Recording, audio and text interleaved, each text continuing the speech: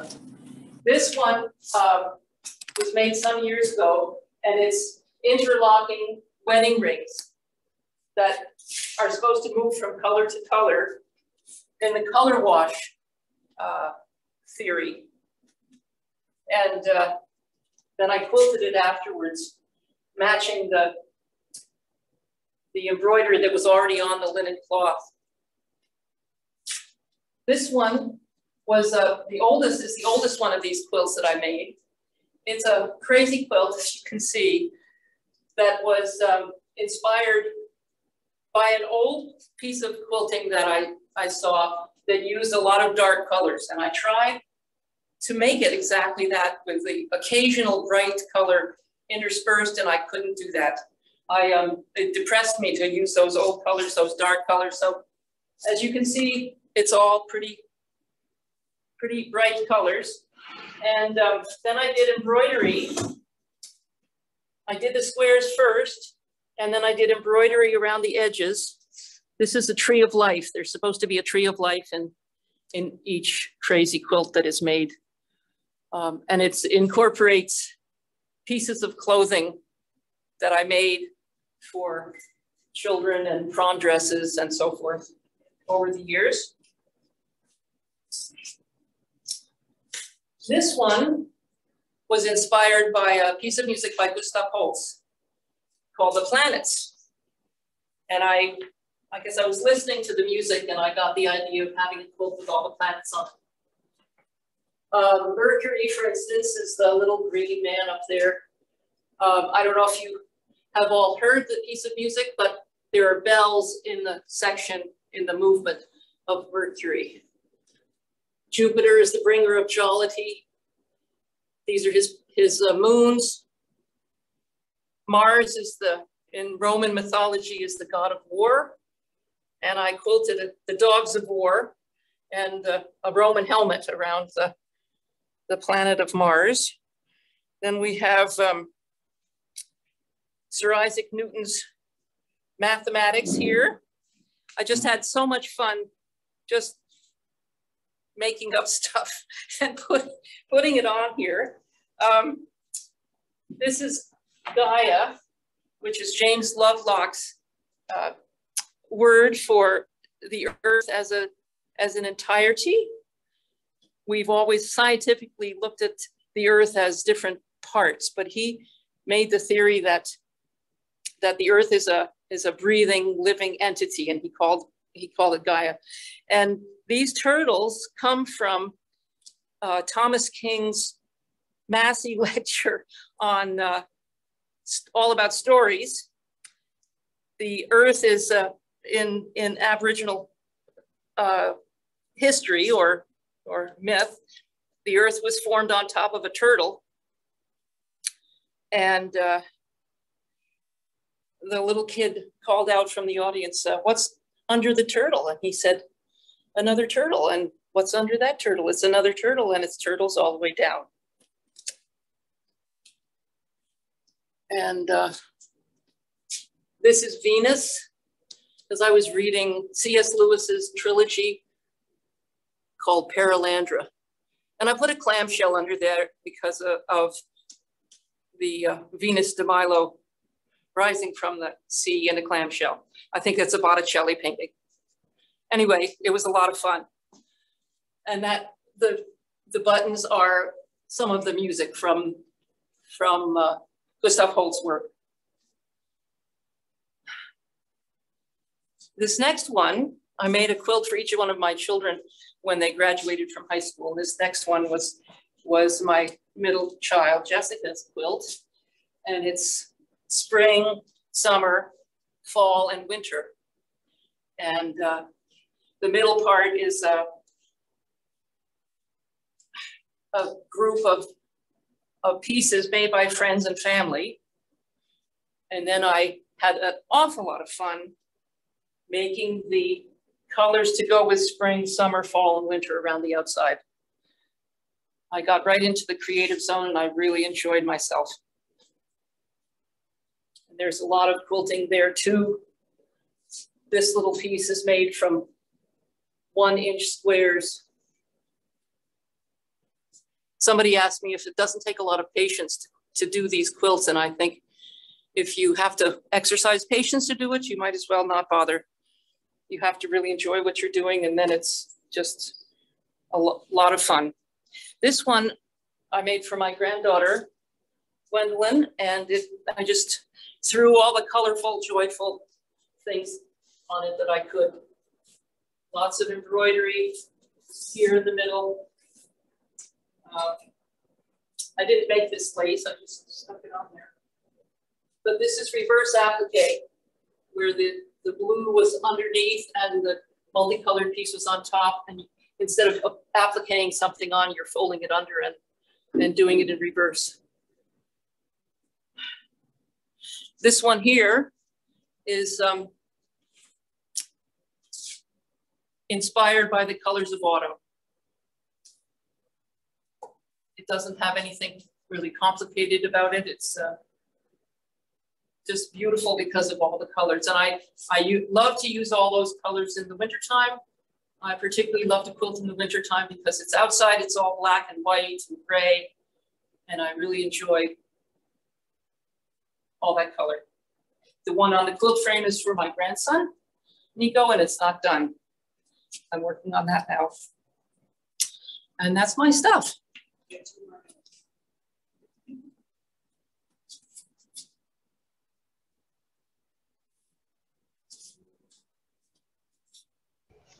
So I'll start over here and this end.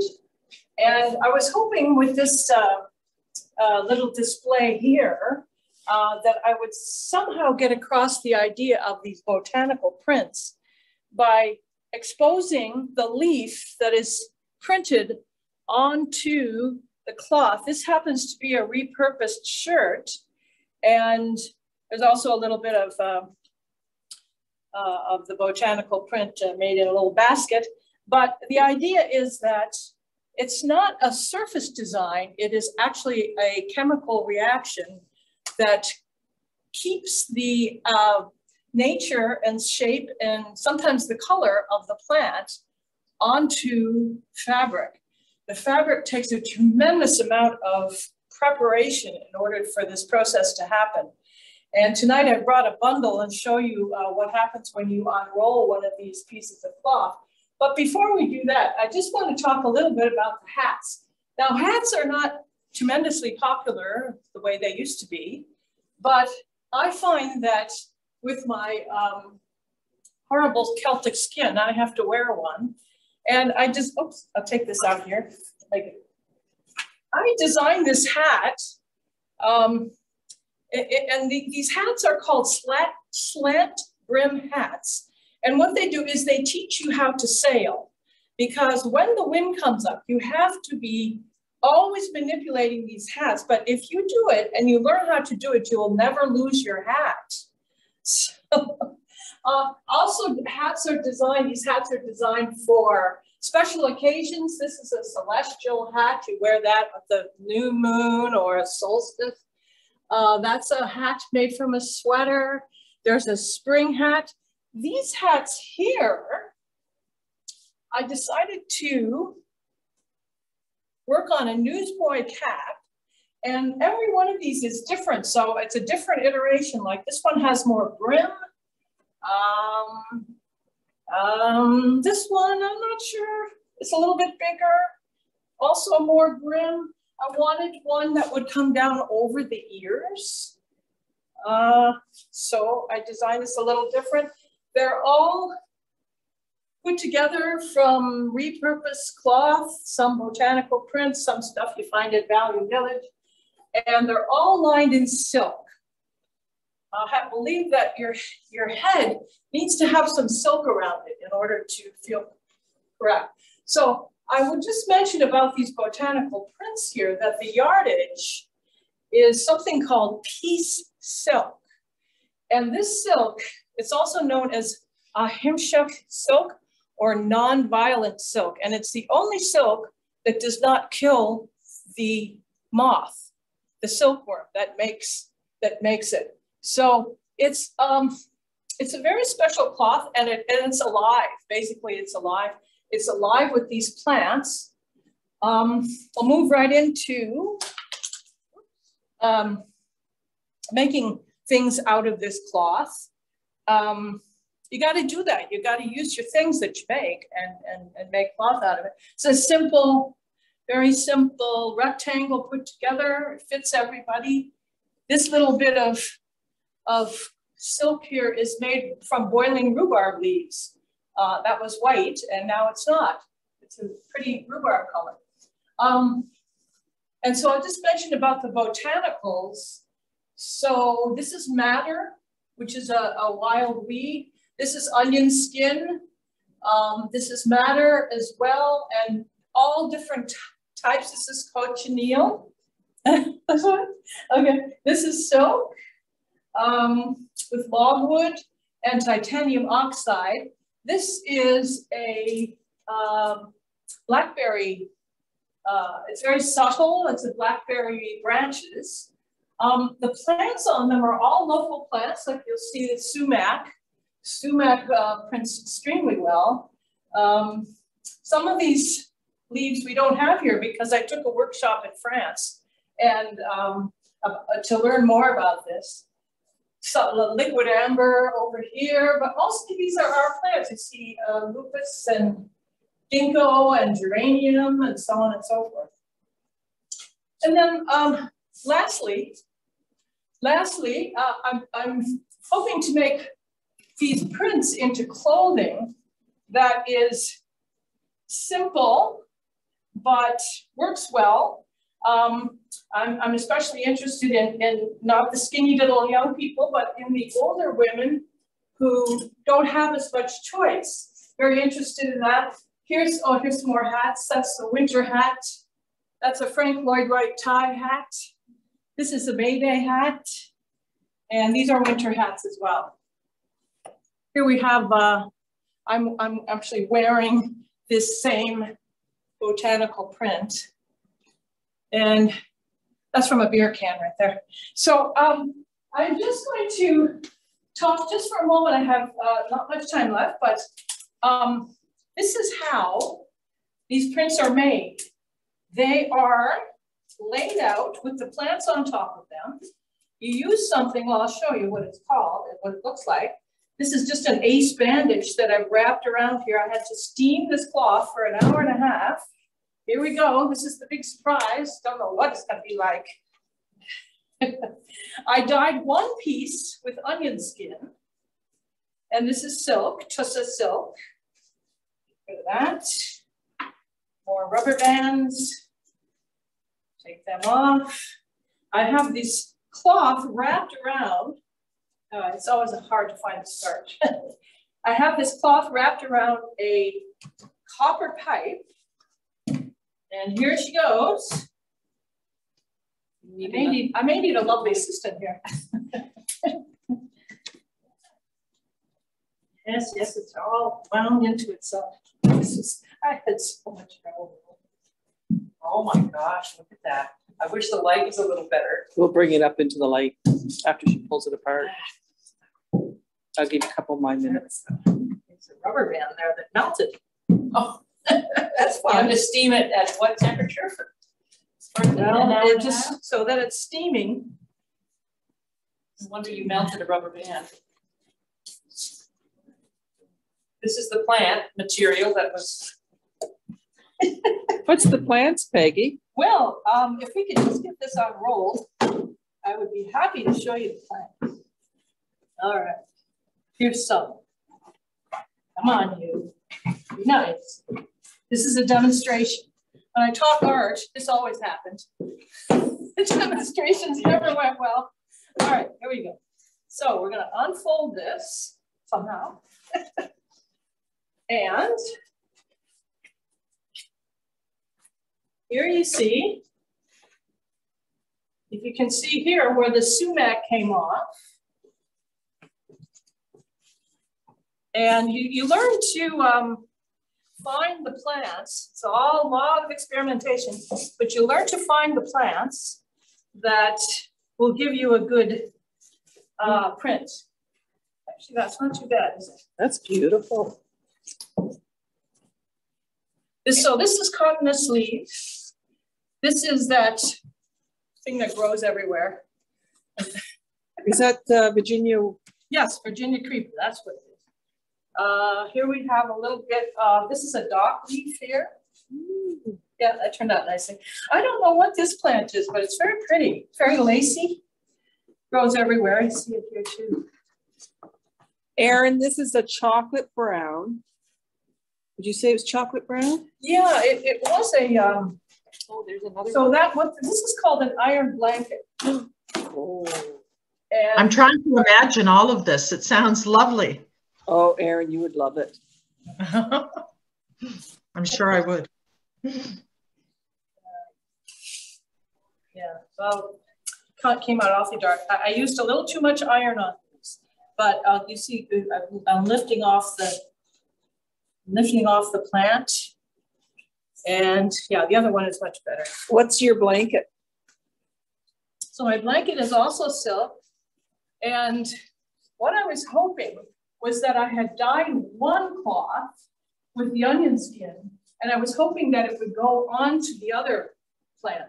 I put paper in between. You can see this. Sometimes you can get some very nice prints, paper prints as well. From, uh, it creates a little bit of a barrier so that the whole thing just doesn't print, print, print.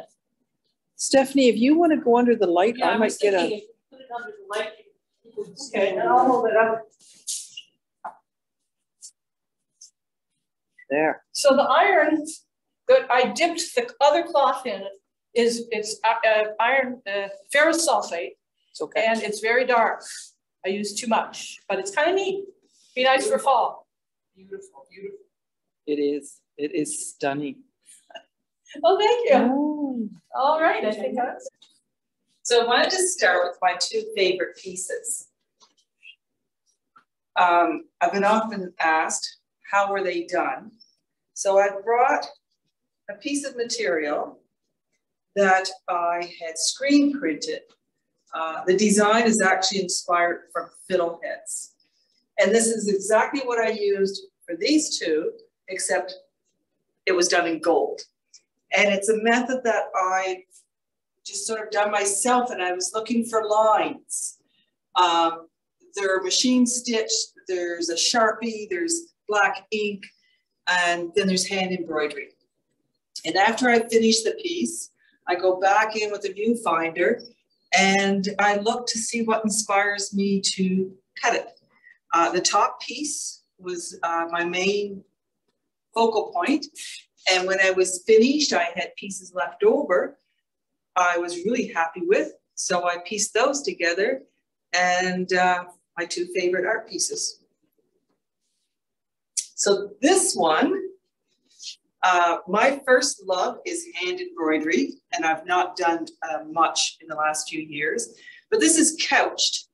And I did this in, it started at the end of January on a piece of cloth that I dyed about 10 years ago. And the cloth, I just laid or I pinned it to my design board. I never knew what I was going to do with it, but it, I knew it was going to inspire me someday. Um, COVID was the inspiration and all the words that were just, we were bombarded with in the last year sort of came rushing in. And to me, it works. It was just um, a commotion of emotions it's a mixture of uh, dyes and inks. Um, Briggs and Little wool is couched on with silk.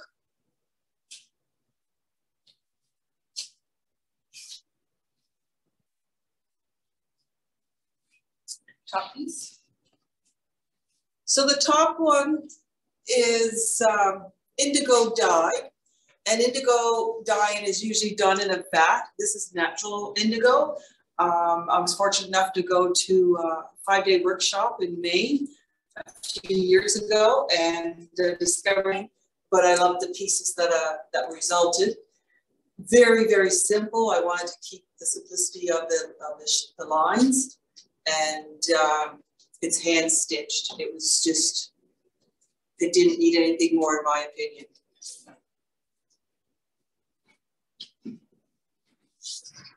Now, this one was just a fun piece. It is, uh, I drew it on circles and squares and, um, machine stitched to a quarter of an inch on the whole thing. It's tight, tight, uh, machine stitching. Then I dyed it, then I painted it, then I dyed some more and painted some more. And I was happy with the end results. It has a lot of texture to it.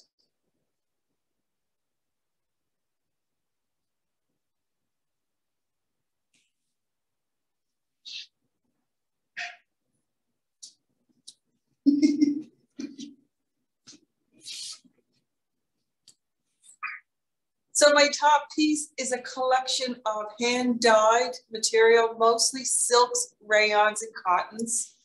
I was experimenting again, and um, I was just happy with the end results. It just came together for me. Uh, there's also acrylic paint on it, and hand stitching, and machine stitching. So it's a combination of all my, my favorite techniques.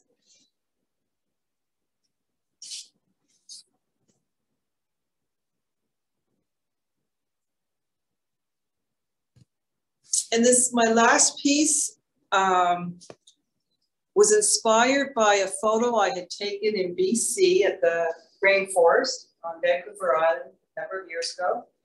And uh, I manipulated the photo and then I removed lines. Um, it's a technique I really enjoy doing. I just draw it out. Um, then I drew it onto the, the cotton. It's just plain white cotton that I used. Uh, I use a grid method when I do draw, so it's uh, copying line per line to large. I stitched it, uh, heavily stitched in most places, and then I dyed it, and I dyed it with a paste. So I mix up my dyes in, uh, in a gel, and I hand paint it on, hoping that uh, the dye sets on top and doesn't run to another area. And this one I was very fortunate with that it stayed where it was supposed to. And that's my techniques. And then you wash it up. Then Yeah, then I wash the dye out. Wash the gel up. Yeah, wash the gel, uh, yes, wash the gel out, thanks. That's it.